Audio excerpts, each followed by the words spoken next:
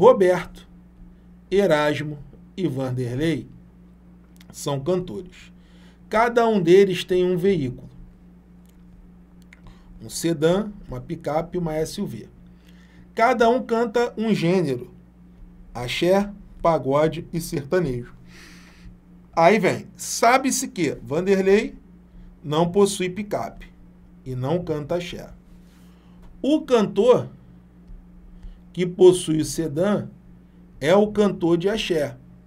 Roberto é cantor de pagode.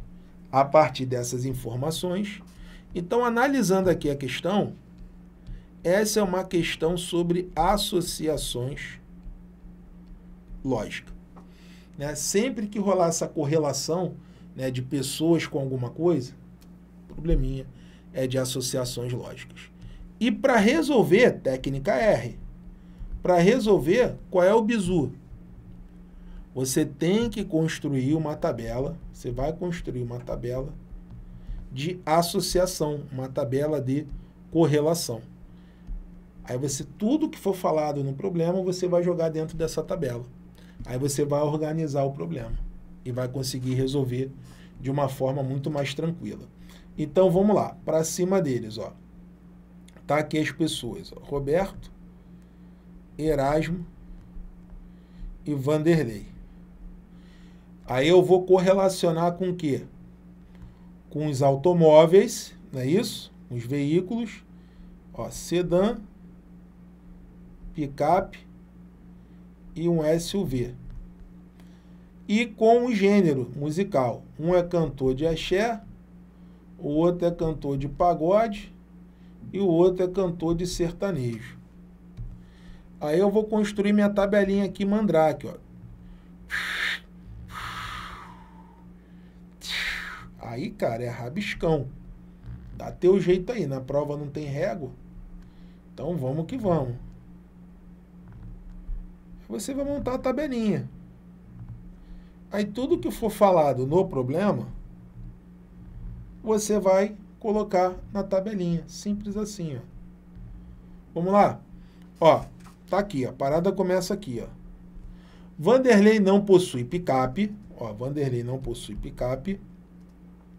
E não canta axé. Vanderlei não possui picape e não canta axé. Beleza.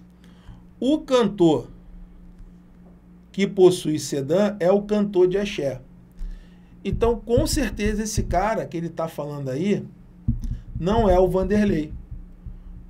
Então, com certeza, o Vanderlei não tem o sedã. Como é que eu sei que o Vanderlei não tem um carro sedã? Porque ele não é cantor de axé. Eu já sei que ele não é o cantor de axé. Então, por eliminação, se o Vanderlei não tem o sedã, não tem a picape, ele só pode ter o quê? Uma SUV. Então, tem que marcar isso aqui. Ok. Eu vou validar essa informação, ok. Vanderlei tem uma SUV. Mas qual é a malandragem aqui? Sempre que você marcar o ok na tabela, você vai eliminar linha e coluna. Porque esse tipo de questão não acumula. Só o Vanderlei pode ter a SUV, mais ninguém. Então, sempre que você marcar o ok, você vai eliminar linha e coluna da parte da tabela que você está associando. E usando aqui mais uma informação, que já ia passar batida, Roberto é cantor de pagode. Aí eu vou marcar isso na tabela. Ó, Roberto é cantor de pagode. Ok. Só que quando eu marco ok, eu tenho que eliminar linha e coluna. Aí vai aparecendo os outros. Ó. O que, que sobrou para o Vanderlei? Sertanejo. Ok. Vou eliminar linha e coluna. O que, que sobrou para o Erasmo? Axé. Ok. Já está ali, ó, linha e coluna. Só que uma coisa vai puxando a outra. Ele falou que o cantor que possui o sedã é o cantor de axé. Então só pode ser o Vanderlei. Ele está falando ali do Vanderlei. Então, com certeza, né? Ele está falando ali do Vanderlei, mole. Viajei. Volta a fita aí. O cantor que possui o sedã é o cantor de axé. Então ele só pode estar falando do Erasmo. Né? O inimigo tentou agir aqui, ele só pode estar falando do Erasmo. Porque o Erasmo é o cantor de axé. Então, com certeza, o Erasmo ele tem um sedã. Ele tem um sedanzinho. Ok. Vou eliminar linha e coluna. E o que, que sobrou ali para o Roberto? Picape. Então, ó, tudo lindo. Roberto, ele tem uma picape toca pagode. Erasmo, ele canta. Ele tem um sedã e canta axé. E o Vanderlei, ele tem uma SUV e canta sertanejo. Vamos lá. Olhando aqui as opções, qual você marcaria? Vamos lá. Qual opção você marcaria? Olhando aqui as opções. Bom, Marcão, olhando aqui as opções, gabarito só pode ser a letra D. Erasmo, Cantaxé e Roberto possui uma picape. Então, sem lero-lero, Marco V da vitória. Vem cá, você quer aprender matemática e raciocínio lógico da maneira correta para gabaritar a prova do TJ São Paulo e ser aprovado? Se sua resposta for sim, matricule-se agora mesmo no nosso curso para o TJ São Paulo. Olha só o que você vai ter acesso no nosso curso para o TJ São Paulo. Antes de tudo, nós vamos te dar a base da matemática que nós sabemos que você não tem. Então, você, nós começamos com um módulo de matemática básica. Um curso com tudo que tu precisa para sair do zero e gabaritar em apenas sete semanas. Depois a gente tem o módulo de matemática para o concurso do TJ São Paulo com todos os assuntos de matemática para você gabaritar. Depois nós vamos ter um módulo de raciocínio lógico para o concurso do TJ São Paulo. Vamos ter também, se tu tiver alguma dúvida, suporte tira dúvida ao aluno, fica abaixo de cada aula. Teve dúvida na aula da questão, pode mandar que a gente responde.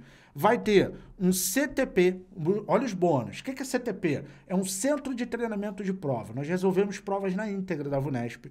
Vai ter o curso de exercícios VUNESP. O que, que é isso? É, o curso de exercício, ele é separado por assunto. Então fica muito interessante, porque tu vê a teoria lá e depois tu volta com questões. E olha só, só esses dois aqui são mais de 500 questões da VUNESP resolvidas em vídeo por nós, tá? Você vai ter 14 simulados da banca VUNESP, vai ter um curso de centro de treinamento de prova de português, vai ter um cronograma que é cereja do bolo, um cronograma do zero ao gabarito de matemática e raciocínio TJ São Paulo em apenas sete semanas. O que é o cronograma?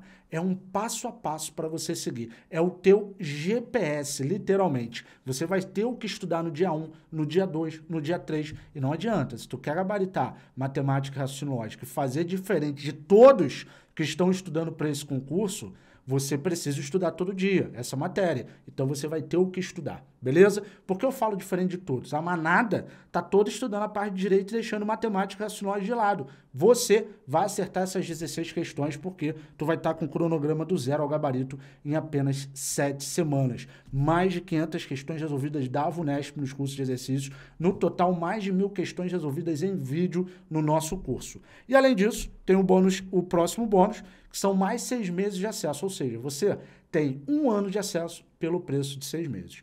Pô, Renato, mas quanto vai custar isso tudo? Não é custo, é investimento, porque o primeiro salário, mais de 5 mil reais, eu estou falando do líquido, só para o ensino médio, já dá o investimento. Basta você somar, ó, continha aqui de padaria, ó, soma todos esses valores aqui de tudo que você tem no curso.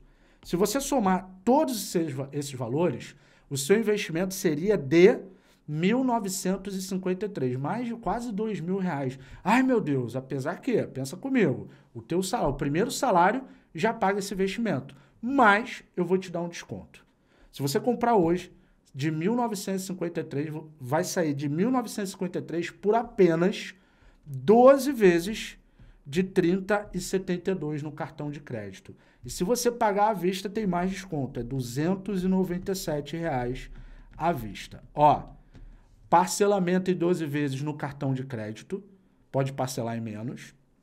297 você paga à vista no cartão de crédito ou no boleto.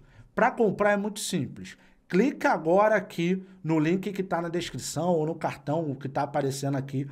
Clica agora, compra e eu te vejo lá nas aulas do curso para a gente sair do zero até o gabarito em apenas sete semanas. Eu te ensino a usar o cronograma, tem uma aula onde eu te ensino a usar esse cronograma, te ensino como usar o suporte da dúvida. Tem também uma aula onde nós te mostramos os assuntos que mais caíram nas últimas provas do TJ São Paulo, para você saber o que deve focar mais. Então é o curso para você sair do zero e gabaritar em apenas sete semanas. Então clica agora que, é, que a gente te, espera lá nas aulas do curso, beleza? E ó, qualquer dúvida, digita aqui eu quero que a minha equipe vai entrar em contato com você para detonar. E se quiser falar com a minha equipe, tá aqui o WhatsApp 21 97029 9443. Manda mensagem, fala com o Júnior no WhatsApp que ele vai te ajudar para você sair do zero e gabaritar. Tamo junto, pra cima deles, te vejo nas aulas do curso. Até lá, valeu!